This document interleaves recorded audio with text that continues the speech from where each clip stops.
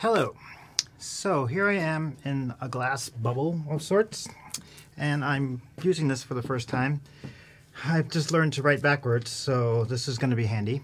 Um, want to prove half of the uh, short 5 lemma. So in this version, we have uh, exact rows, and we have G is injective.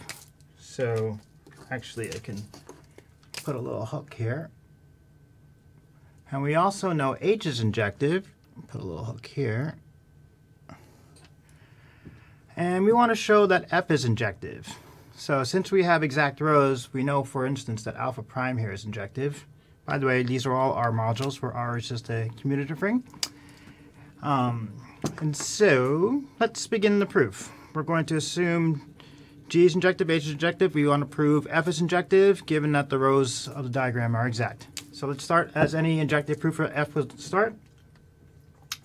Let uh, Y be in the kernel of F. this is the start of our proof.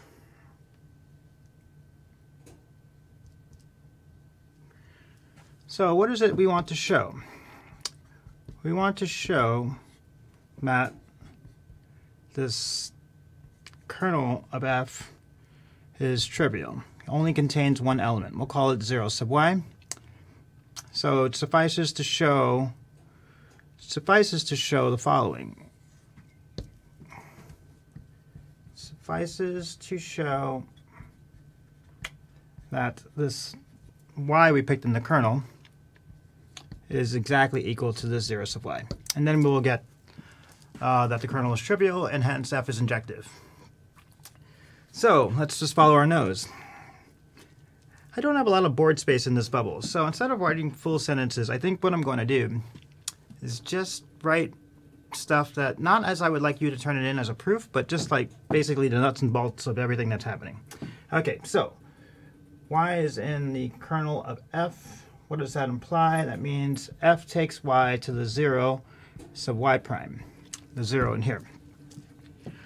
Uh, and that implies then that uh, beta prime of f of y is equal to the 0 in um, the module z prime. But that means then that f of y is in the kernel of beta prime, but we actually don't care about that. By, by commutativity of the square, commutativity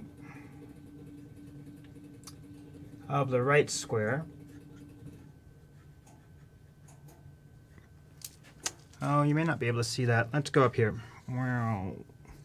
By commutativity of the right square, we'll know then that if we travel um, from h of beta of the y that's here, that's the same as traveling from beta prime of f of the y. But we just learned that y is in the kernel of f, so this is really just beta prime of 0 sub y prime. But beta is a homomorphism. So this is just the 0 and z prime.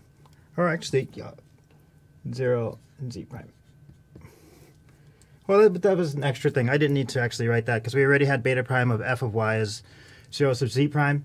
I think I wrote that because I just wanted to write the word boy prime. Ha ha ha. Okay, that's my only funny. There's going to be no more other funnies, but uh, that was not necessary state. We could have gone straight from here, because I had that there and written that there, but I'm not going to erase. Uh, you get the picture, though. That says the word boy, whatever. Okay, so what do we have? I have h takes beta of y to the, h takes beta of y to the 0 in uh, z prime. Hence, that implies then that beta of y is in the kernel of h. But by assumption, H is injective. So this kernel of H is really just one element, 0 sub z. So that means that beta sub y in particular is equal to 0 sub z. But that means then that y is in the kernel of beta. But we have exactness in the first row. In particular, exactness at y says that the image of alpha is equal to the, to the kernel of beta. So this kernel of beta is actually equal to the image of alpha. So that means then that there exists an element x, little x, and big X, such that alpha takes this little x to this y. Okay, so now let's travel around the right square. Remember the goal. The goal is to show that kernel is trivial. Kernel of f is trivial. So it suffices to show that this y that I picked in the kernel is actually equal to 0. I know that alpha x maps to this y, so maybe we can get this x to be 0. Let's just uh, see what we can do here. Or inevitably, we have not used the injectivity of alpha prime, which is guaranteed by exactness at x prime, and we have not used the injectivity yet of g, right? So let's travel around by community of the square here. Um, so, by commutativity of the left square, so we have a little x in here. I know that alpha prime of g of this x is the same as f of alpha x of x. But alpha of x is equal to y, and y is in the kernel of f, so f of y is equal to oi. Yeah. Uh, o sub y prime. So that means that g of x is in the kernel is in the kernel of alpha prime. Yay! Now we can use the injectivity of alpha prime. Uh, alpha prime is injective, so this thing is equal to just one element in the domain of alpha prime. Um, and this is since alpha prime is injective. So that means then that g of x is in particular equal to 0 sub x prime. But G is also injective. So this thing, um, so that means then uh, G of x being 0 sub x prime means that x is in the kernel of, of G, which by the injectivity of G is just the 0 in x. Since G is injective. Okay, getting down to the bottom of the board, and hopefully we can kill this now.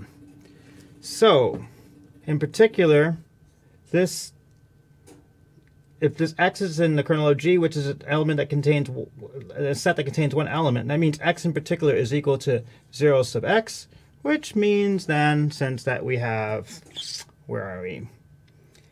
Alpha takes x to y. This means that alpha um, let me erase this. I want to do this with the nicest space here. Since we have 0 is equal to alpha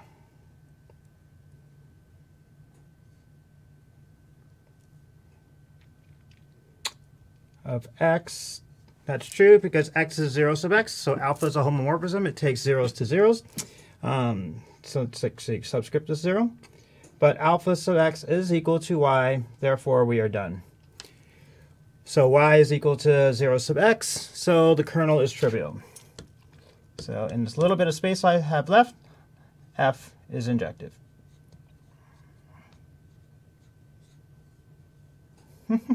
there is very little space here, so I'll just write my QED up here. Yeah, yeah, we did it. Woo, woo, yeah.